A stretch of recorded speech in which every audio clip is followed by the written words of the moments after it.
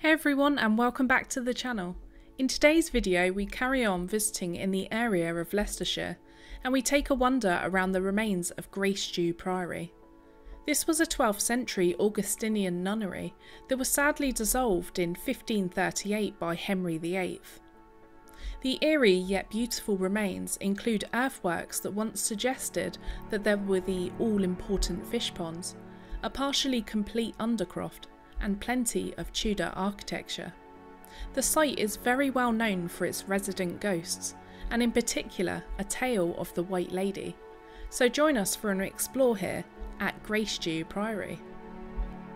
The exact date is not well known, but it was more than likely that it was built between 1235 to 1241.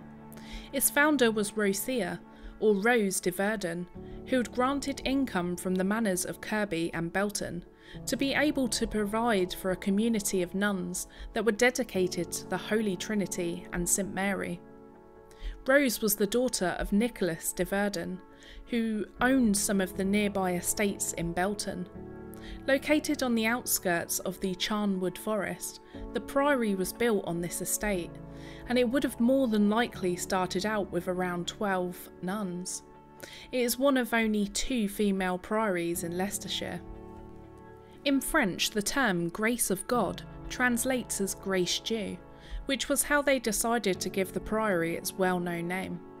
In the field around the priory, and to the west, is an ancient standing stone that suggests that the area was a space for local spiritual significance, way long before the priory was ever founded. Its founder, Rose, was buried before the altar in the priory's chapel, but her tomb lays peacefully at the parish church at St John in Belton, where it can still be seen. The community here at Grace Dieu was under strict rule of a prioress. Its first prioress was Agnes de Gresley, although little is known about her, but historians suspect that she wasn't up to the role and was way too laid back, so it was passed on to Mary de Streeton. Weirdly enough, an unusual rule here meant that the nuns of the priory were to never leave the priory's precinct, and they were to be independent of outside control. The nuns called themselves the White Nuns of St Augustine, and they wore undyed white wool robes, as opposed to the traditional black habits that were worn by most Augustinian nuns but it's thought that there are no other houses of their order in the country. The priory at the time was fairly large, and it was home to around 16 nuns. It also had an attached hospital, which had beds and cared for around 12 poor people. An account book from 1414 provides a great insight into the priory's way of life and their economy. It had notes of income from rent that was given, the mill, the lime workings, quarries, as well as the other supplies like timber, wool, pigs, cattle, and sheep. There was also a note of various maintenance work that was carried out, including the repair of the roof of the cloisters and the church.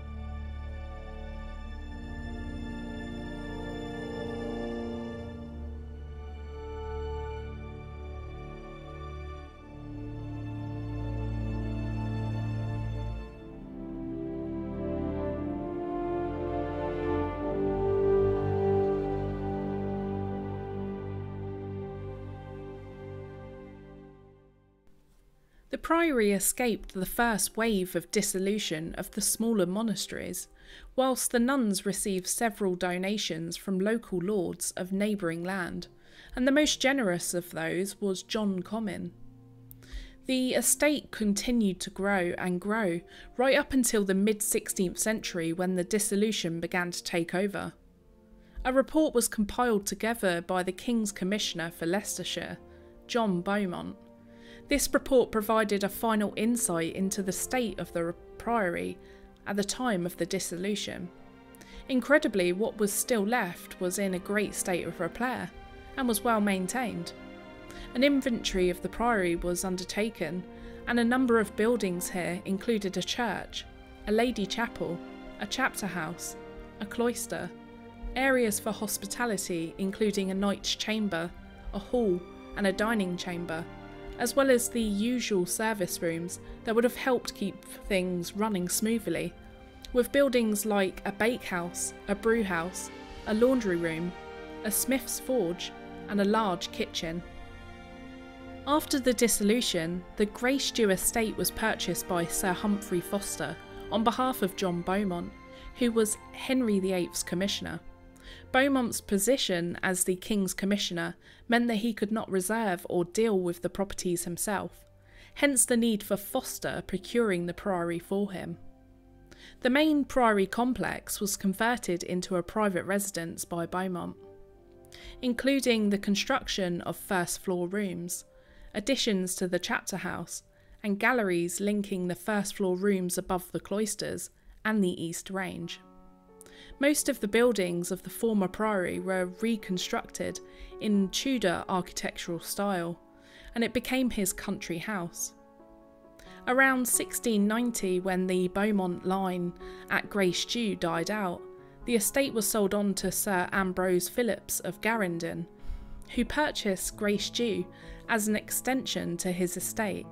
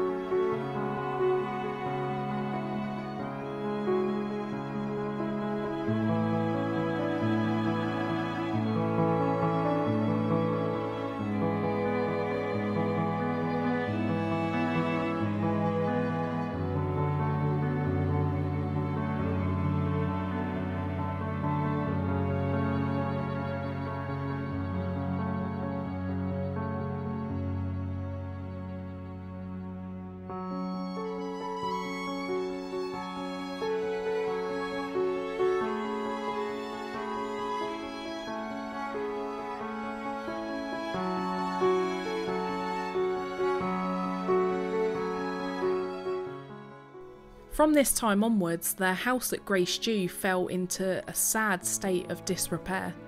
Phillips demolished the Priory Church in 1696, where he stripped the roofs of lead, and so it became a ruin as it is today.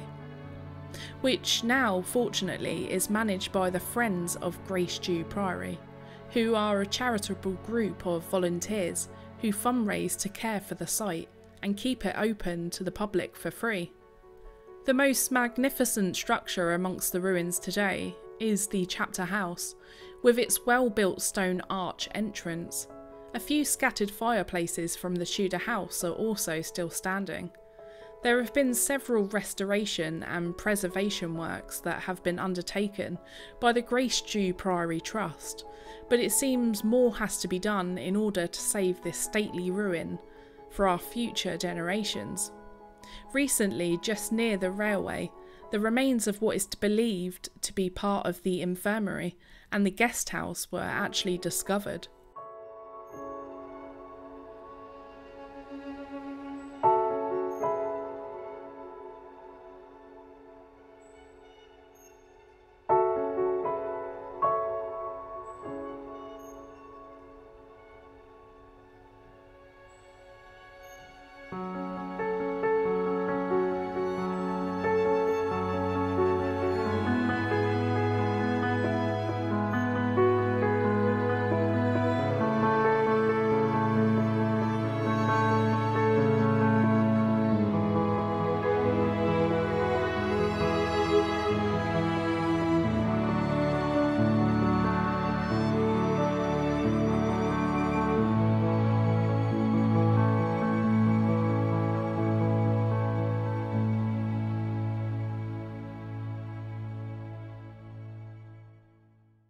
Sometimes these forgotten ruins, especially from the medieval period, are interesting to visit, down to the fact that people have labelled the ruins as haunted.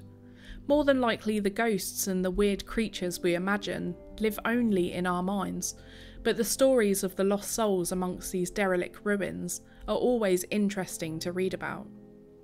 Some of the stories revolve around multiple female ghosts, dressed sometimes in white, but also in grey, that haunt the buildings. Throughout the years, there have been numerous paranormal activities, with incredible finds at the site, as well as reports of uneasy feelings whilst visiting. For me, I felt like there could have been someone watching us as we visited the Priory. We came during the morning, but the feeling of having someone watching over your shoulder was definitely present. Its most famous story involves a prioress who had a child out of wedlock. Sadly, the baby was discovered and drowned by the nuns in the nearby fish pond, and the prioress was walled up inside the priory as her punishment. Some people believe her ghost is the one that still wanders in search for her lost baby, and others have assumption that Rose was disturbed when she was moved from her final resting place. There are plenty of sightings of a ghostly white lady that has no feet, face, or hands, and who floats around the ruins as if she is lost.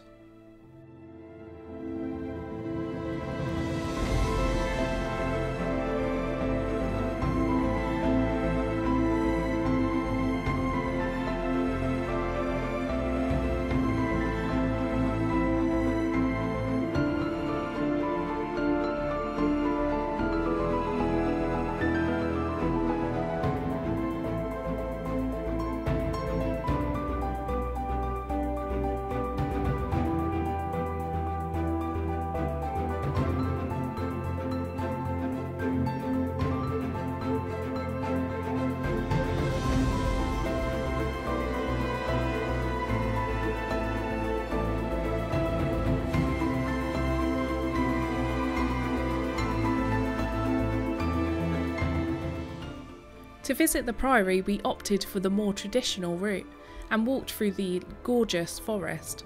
You can park for free at the Bull's Head pub, which is the official car park for the ruins, and simply just follow the signs that point the directions to the Priory. You pass a cricket green and down under two unused and interesting old train line bridges before you see the picturesque stream, and then finally the entrance to the Priory itself.